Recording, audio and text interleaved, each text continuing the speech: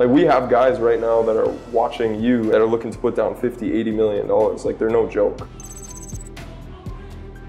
They, they are whales and they've been watching for the past three months. Maybe you're compounding a $1 million account and then I don't know where you get a call from me saying, hey, we're gonna add 10 million to your balance. It can jump overnight just like that. But just for now, we, we kind of want to follow a schedule where in our first contract, it said that I think it was every six months we add $2 million to your balance from us.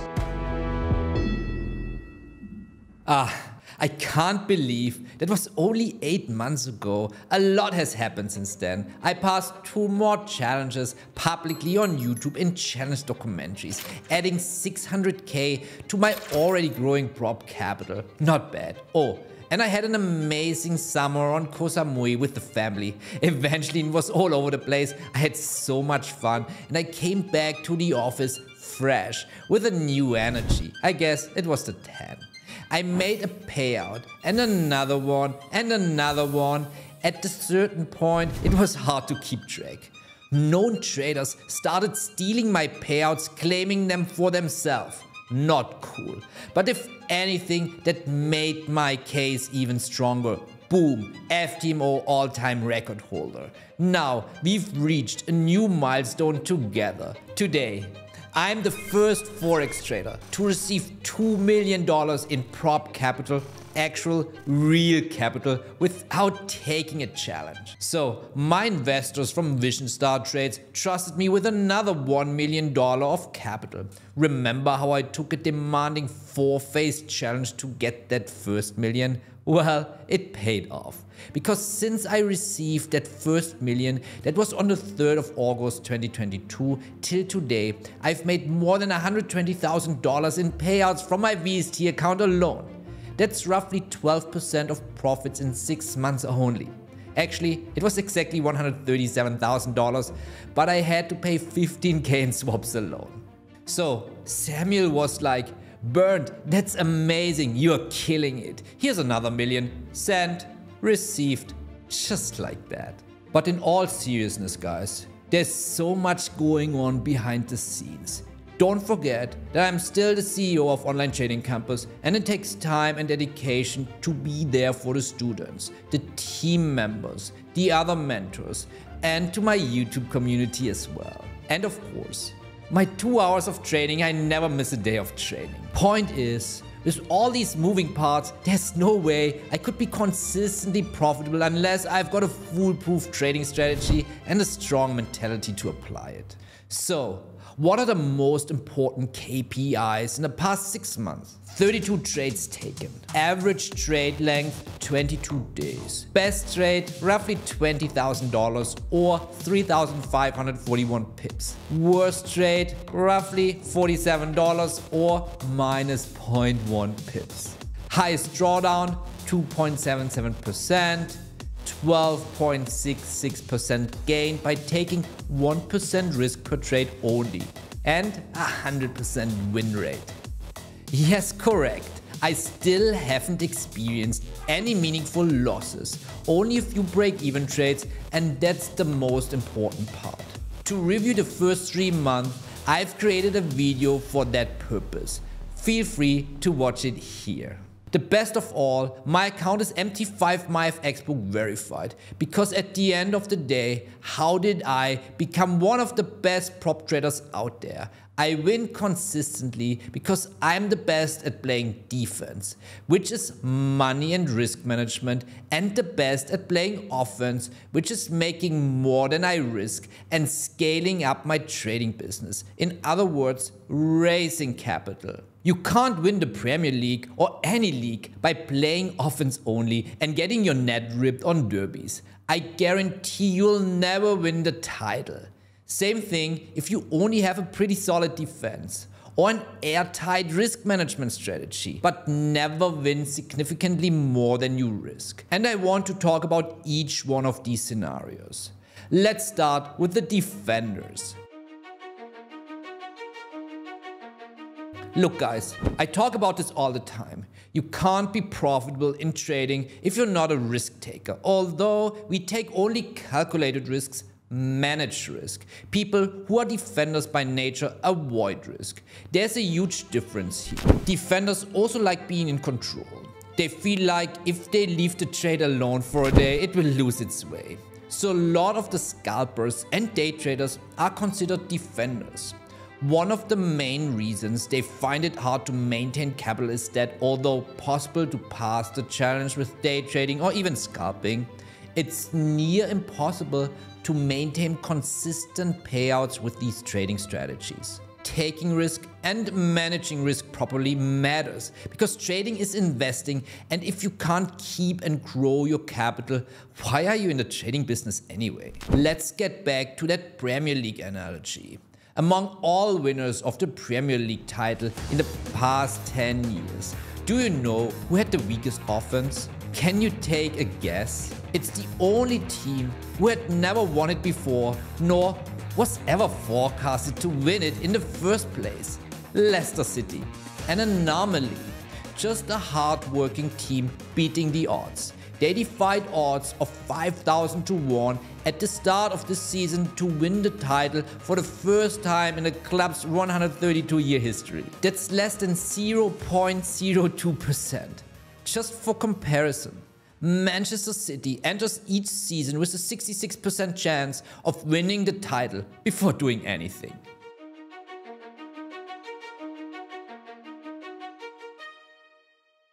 Let's move to the attackers. And to be honest, I didn't even know this type existed until recently. I need your focus now because this is both genius and evil at the same time. These guys use a strategy called account flipping. So they start with let's say $5,000. They go full on attack mode, buying a whopping 10 100k challenges at the same time, preferably across different firms so their manipulation is harder to be discovered. They would then proceed to take on each and every one of these challenges separately from the other, meaning they don't copy their trades across accounts. Because let's face it, they don't even know which of the 10 strategies is going to work. In fact, the only strategy left in their pocket is to open both long and short trades simultaneously on any random instrument and this will guarantee them anywhere between 20 to 30% success rate. By the way, if you're thinking right now this trick should be working 50% of the time because there are only two directions, long and short, well, not necessarily because both stop losses could be hit before reaching any profit target. And taking any trade in a challenge without stop loss is just flat out stupid because your exposure is full daily drawdown per trade. Congratulations, you're just about to risk your entire challenge on one single trade. Don't forget, max daily drawdown is usually 4 to 5%, and the profit required is anywhere between 8 and 10%. Others could be using the same strategy to hedge their positions. For instance, go long on the higher time frame and short on the lower time frame at the same time. Anyway, they find themselves with maybe two or three accounts that have passed the verification stage and they get funded 200 or 300k. Now what?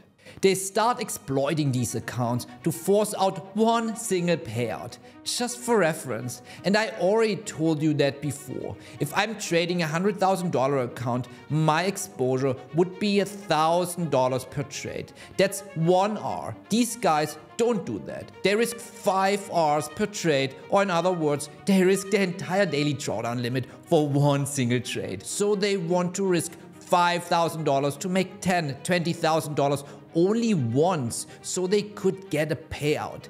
Hit or miss. This may work once or even twice, but it's definitely not a consistent way of profiting from trading. It's borderline cheating and finding a loophole in the system. Anyway, now it's payday and now they've successfully doubled or quadrupled their money. Same exact concept could be used in winning a very specific type of top tier trading championships. The ones that allow traders to have multiple accounts inside the championship. Seems like a strange rule, right? I've never seen a club compete in the same league with two teams before. But what do I know? If you want to call this uh, whole thing traders playing the odds, that would be an understatement. I call it chaos theory. At the end of the day, this group of traders don't apply even the most basic concept of risk management. Remember how we said you can't win the title with a weak offense? Well, the same exact thing with defense. No defense, no title. And the only team that won the Premier League title in the past 10 years with a weak defense none other than the very same Leicester City in the very same 2015 season. Anomaly. So if you see one of those traders bargaining with their 20 or 40k payout, you should only think of this one word. Anomaly. That's the antonym of consistency. And finally, the real deal, the total traders. Those who understand the balance between offense and defense. Those who are consistent in their results those who are always showing up on the top of the prop firm's leaderboards. You'll hardly find them on YouTube or Twitter, trust me, I'm just a rare find. I've been teaching you total trading right here on this channel for the past year and I believe I'm finally getting the word out there that this is true, it's doable. Just like Johan Cruyff believed if his team could be the best at offense and defense at the same time, it will be unbeatable, it'll be able to control every outcome of the game, not only 90 minutes of the engagement, but it extended to far beyond that and he proved it could be done. Years go by and his student Pep does the same exact thing and gets the same consistent results using Cruyff methods. Okay, we heard all about total football. Now, what's my secret? How am I the best at both offense and defense at the same time? Well, it starts really simple. First off, don't be greedy. Simple, right? I control the greed by taking a fixed dollar risk per trade. I risk 10k per trade, that's my standard. That's 1% of my $1 million account. And now it's 20k since my account grew to $2 million. By the way, I talked in detail about my fixed dollar risk model in a previous video. Link is somewhere up here. So if we look back, I had a million dollar account. I risked 10k fixed, 1% per trade. I made 120k in six months. So I earned 12R. And I forecast I will end the year making between 18 to 24 Rs, which means I earn roughly 20% yearly on each and every account that I have. And I remember teaching you how to do the same thing in a previous video as well here. it was weird. Remember, those guys who are really good at offense, but they're just playing the odds. Well, who would you rather have as a mentor? Someone who has to be a consistent earner and a role model for his students and viewers. He has to compete every day at the highest level. Someone who is completely and 100% doxed, verified, and has a public track record with some of the largest prop firms in the industry. And on the other side of the field, someone who is greed driven, forcing a couple of payouts to defraud viewers into thinking he has an actual edge in trading, or this other guy who lost millions and millions and millions more in trading, but he made all back when he started selling his mentorship, I can't comment by anything other than they lost their way. And you guys, right now, you need to look out. The prop space is getting overflooded with these traders from that group. And look, guys, I don't like saying shit about people. no. Okay, I sometimes say shit about people, but you need to do your research on some of these established traders. Some of them are flat out scammers. I've said my piece now. The choice is all yours. I'm really doing my best here to educate you guys the best way I could. And these kinds of videos are important because come on, of course it matters how you make your money. Of course it matters where you get your trading advice. A misleading advice or failed strategy is like bed bugs. Good luck getting that out once settled in your mind. And if you make your money trading multiple accounts against each other, trust me, I don't want to hear your trading advice. Right now, on the left side, traders making more money from mentorship than their own trading. On the right side, account flipping. And every day it's just one horrible practice after each other. Let's just try to make this place a bit better, okay? Thank you. Happy and safe total trading.